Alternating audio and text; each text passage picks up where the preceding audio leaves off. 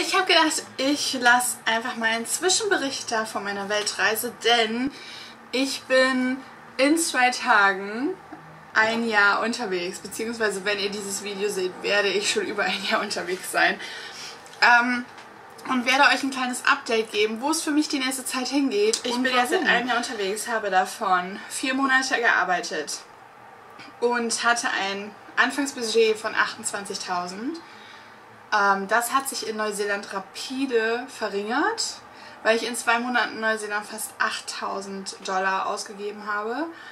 Ähm, und somit bin ich jetzt ungefähr bei 10.000 Euro, die mir noch bleiben für ein halbes Jahr circa. Oder nicht ganz, also bis Mitte September. Und eigentlich hatte ich vorgehabt, so die Ostküste hochzugehen, Kern zu sehen, halt Uluru zu machen. Aber nachdem ich mir die Kosten angesehen habe, ähm, war es mir das nicht mehr wert. Weil ich muss sagen, Australien, auch nach Neuseeland, ist das echt viel Geld, was weggeht.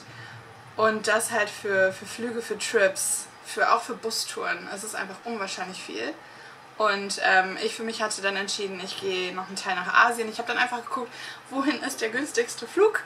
Und ähm, habe das dann einfach gemacht. Und somit bin ich auch nach Taiwan für eine Woche, weil halt einfach der Flug unwahrscheinlich günstig war. Und der Flug von äh, nach LA über Taiwan und Manila halt günstiger ist, als direkt von Manila zu fliegen. Also das sind so Wahnsinnssachen, die man während der Weltreise rauskriegt, wenn man sich halt so Flüge plant und halt auch guckt, dass es halt einfach günstiger wird, dass es einfach irrwitzig ist teilweise, äh, wie diese Flugpreise zustande kommen. Als Beispiel halt, ich bin in Manila, Philippinen und wollte von da aus nach LA. Der Flug würde mich 700 bis 800 Euro kosten. Ähm, dann gab es einen Flug von Taiwan nach LA über Manila. Der kostet 455. Also irrsinnig. Und der Flug von Manila nach Taipei, nach Taiwan, kostet halt äh, unter 50 Euro. Und ich gesagt so, Alter, Gott, dann sehe ich halt nochmal Taipei. Äh, dann mache ich eine Woche da. Das Hostel kostet irgendwie nur 18 Euro äh, pro Nacht. Und da im, im Ganzen kostet mich die Woche Taipei günstiger, als wenn ich einen Direktflug von Manila genommen hätte nach L.A.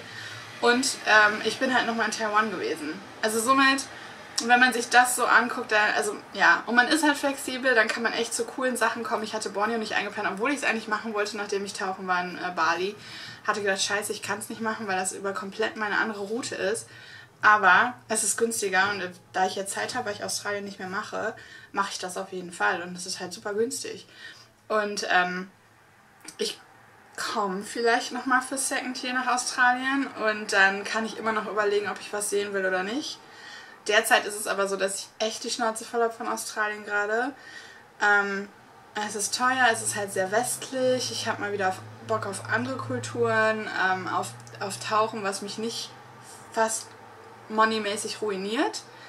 Ähm, ja, und also Cairns Tauchgang ähm, kostet mich fast über 300 Dollar und da, da kriege ich ähm, schon alleine vier Tage Tauchen in Borneo für. Und äh, deswegen habe ich mich halt definitiv für Asien entschieden. Aber so plant halt jeder seine Weltreise anders.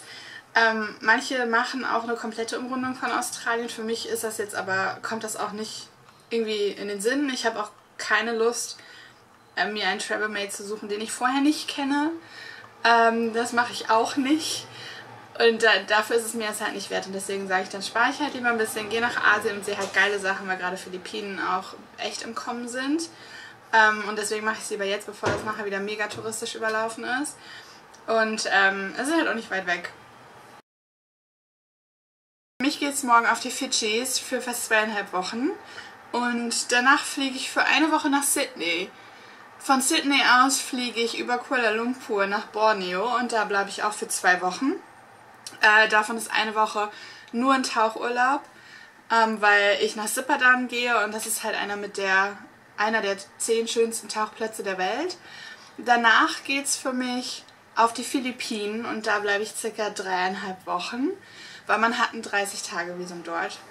Danach geht es für eine Woche nach Taiwan.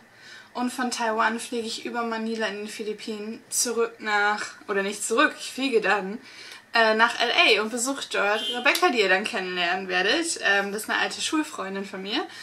Und ähm, da werde ich dann ein paar Tage verbringen. Und dann geht es für mich durch die USA. Und wo es für mich danach hingeht, das werde ich euch noch nicht erzählen, weil das wird eine Überraschung für viele oder einige, weil einige wissen schon, andere noch nicht. Ähm, ja, das ist auf jeden Fall jetzt so meine Planung. Ich habe schon alle Flüge gebucht, ich habe zum Teil schon Hotels vorgebucht, weil ich gelernt habe auf der Weltreise, dass ich ein Mensch bin, der gerne plant, der gerne weiß, wo es hingeht, der gerne das Geld dann schon von seinem Gesamtbudget weg hat ähm, und ich dann weiß, inwiefern ich Geld habe für Aktivitäten, für Essen, für Hostels etc., die ich noch nicht vorgeplant habe.